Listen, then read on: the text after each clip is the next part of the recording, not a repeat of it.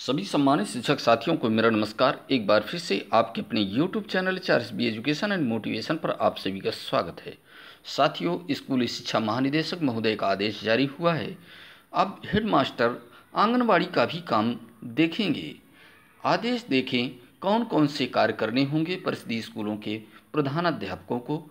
यदि आप चाहते हैं इसी प्रकार के इन्फॉर्मेटिव वीडियो आपको एक ही प्लेटफार्म पर उपलब्ध हों तो इस चैनल को सब्सक्राइब कर लीजिए और नोटिफिकेशन को आल पर सेट कर दीजिए ताकि सबसे पहले अपडेट्स बेस शिक्षा से जुड़ी हुई आपको मिल सकें।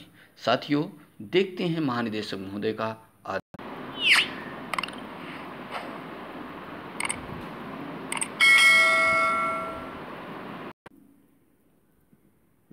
आदेश महानिदेशक स्कूल शिक्षा एवं राज्य परियोजना निदेशक कार्यालय, लखनऊ से यह आदेश निर्गत हुआ है। सेवा में जिला शिक्षा अधिकारी समझ जनपद उत्तर प्रदेश।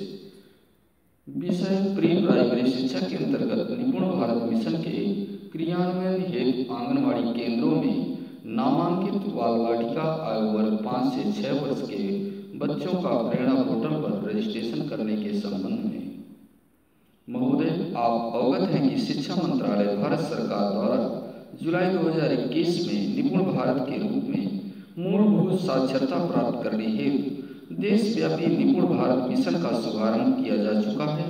उप के परिप्रेक्ष्य में वे शिक्षा विभाग द्वारा शासनादेश दिनांक सत्ताईस जून 2022 द्वारा निपुण भारत मिशन से संबंधित राज्य के समस्त जनपदों हेतु त्रैमासिक लक्ष्यों का निर्धारण करते हुए अग्रिम कार्यवाही की जा रही है।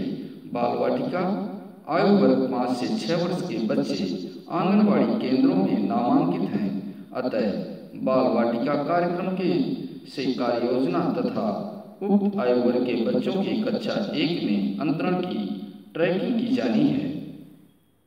तत्क्रम में संलग्न यूज़र मैनुअल के अनुसार को लोकेटेड आंगनबाड़ी केंद्र युक्त विद्यालयों के प्रधानाध्यापक द्वारा विद्यालय परिसर में अवस्थित आंगनबाड़ी केंद्र में नामांकित आयु वर्ग पाँच से छह वर्ष के बच्चों का रजिस्ट्रेशन।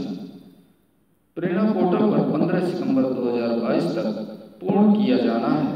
अतः आपको निर्देशित किया जाता है कि उपरोक्त रजिस्ट्रेशन का कार्य निर्धारित समय अवधि में पूर्ण करवाना सुनिश्चित करें। भौतिक श्री विजय किरण आनंद महानिदेशक, स्कूल शिक्षा राष्ट्र परियोजना निदेशक समग्र शिक्षा उत्तर प्रदेश। और साथियों, यूज़र मैनुअल पर भी एक नज़र डालते हैं। आंगनबाड़ी बालक बालिका के आधार वेरिफिकेशन हेतु यूज़र मैनुअल, निर्देश, राष्ट्रीय शिक्षा नीति 2020 एवं निपुण भारत मिशन के उद्देश्यों को ध्यान में रखते हुए बाल बालिका आयु वर्ग पाँच से छह वर्ष के बालक बालिका के विवरण को भरे जाने के संबंध में विद्यालय परिसर में संचालित आंगनबाड़ी केंद्र। कोड लोकेटेड के आयु वर्ग पाँच से छह वर्ष के बालक बालिकाओं का ही विवरण विद्यालय के प्रधानाध्यापक या इंचार्ज प्रधानाध्यापक द्वारा भरा जाएगा। उद्घोषणा उक्त बालक बालिका एवं उनके अभिभावक के आधार नंबर का प्रयोग केवल सत्यापन संबंधी सहमत लेने में के पश्चात आंगनबाड़ी केंद्र से विद्यालय कक्षा एक में अंतरण एवं बाल वाटिका हेतु कार्य योजना निर्माण भी किया जाएगा। अभिभावकों के सहमत पत्र की छाया प्रति विद्यालय या आंगनबाड़ी केंद्र में संरक्षित की जाएगी।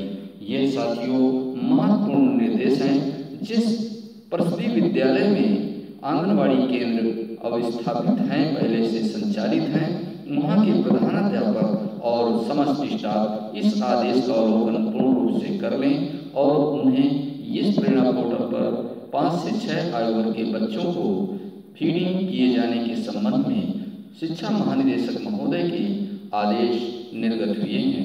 ये साथियों, महत्वपूर्ण निर्देश था। यदि यह वीडियो आपको पसंद आया हो तो वीडियो को लाइक